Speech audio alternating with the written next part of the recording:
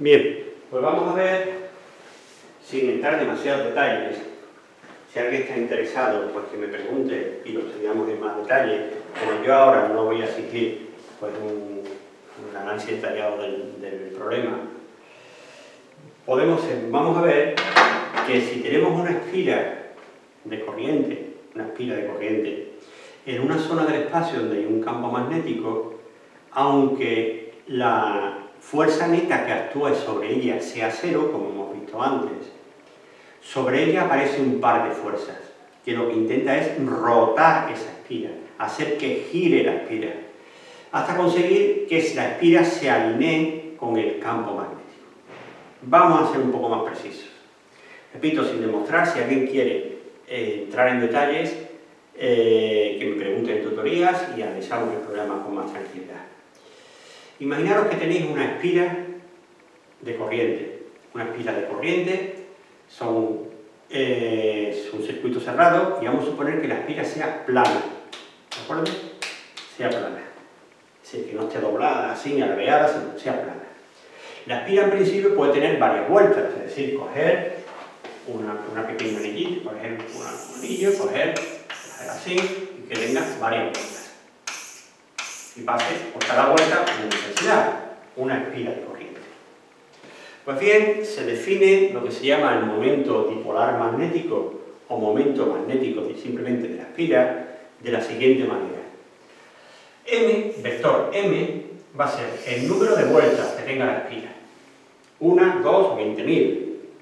¿De acuerdo? La espira plana. Por la intensidad que circula por la espira, cada vuelta siempre tenemos la misma intensidad, en un circuito, no hay, no hay nodos por ahí, por el vector superficie. Vector superficie es un vector cuyo módulo es la superficie de la espira. Dirección perpendicular a la espira. Y sentido el dado por el de la corriente. De manera que si la corriente circula de esta manera, regla de la mano derecha, hago así, va hacia arriba. Si la corriente circulara en sentido contrario, regla de la mano derecha, el m va al revés. ¿De acuerdo?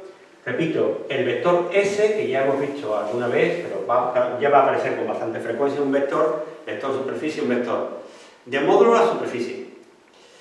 Dirección perpendicular a la superficie y sentido indicado por el sentido de la intensidad mano derecha y el pulgar nos va a indicar si va para un lado o va para el, sentido, para, el otro lado. Este sería el momento magnético o momento dipolar magnético. Pues bien, se puede demostrar que si tenemos una espira de corriente en una zona del espacio donde existe un campo magnético uniforme, aunque la fuerza neta que actúe sobre la espira sea nula, va a aparecer sobre la espira un par de fuerzas. Un par de fuerzas que va a intentar rotar, que va a hacer, intentar rotar la espira, hacer que gire la espira.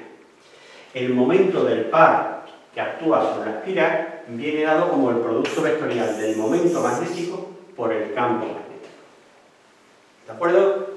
De manera que va a ser un vector de módulo, producto de cada de los módulos por el seno del ángulo que forma, dirección perpendicular al plano formado por M y B, y sentido el, del producto vectorial indicando el primero sobre el segundo. Según este dibujo, mi sentido sería m vectorial b, sería de esta manera, de manera que el momento, el, momento del par de fuerzas que actuará sobre la espira va hacia adentro, la espira intentará girar de esta manera, va a girar así. ¿De acuerdo? Va a girar así. Repito, el efecto del campo magnético es crear un par de fuerzas que hace que intente girar la espira. Si puedes, gira. ¿De acuerdo?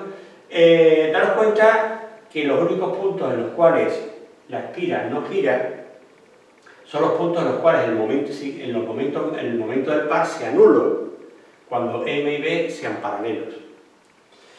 Eh, cuando M y B son paralelos y tienen el mismo sentido, se puede demostrar que es un punto estable, estable en el sentido de que si M y B son paralelos, si yo desplazo un poquito la espira de, ese punto, la espira oscila alrededor de ese punto.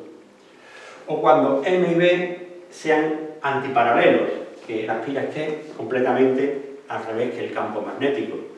Se puede demostrar, y no lo voy a hacer, que si muevo un poquito la espira, la espira va a hacer rum, se va a dar la vuelta y va a intentar colocar M alineados. ¿De acuerdo? Eh, no lo voy a hacer, si alguien está interesado que me pregunte en tutorías. Para resumir, podemos decir que si tenemos una espira de corriente en una zona del espacio donde hay un campo magnético, aunque la, la fuerza resultante sea nula, sobre la espira va a aparecer un par de fuerzas, que va a rotar, a hacer que rote la espira. ¿Y cómo va a rotar la espira? Va a intentar siempre hacer que M, el momento magnético de la espira, y B se alineen. La idea es que M y B intenten alinearse. Por esta expresión, M y B, la espira va a rotar para que M y B se pongan paralelos. Pues bien, este es el principio de funcionamiento de los motores eléctricos. Los motores eléctricos en el fondo son campos magnéticos y espiras. Y las espiras van a rotar, debido a ese efecto. En, el laboratorio eh, os enseñaré a cómo funciona de verdad algún motor eléctrico sencillito que tenemos ahí. Muchas gracias.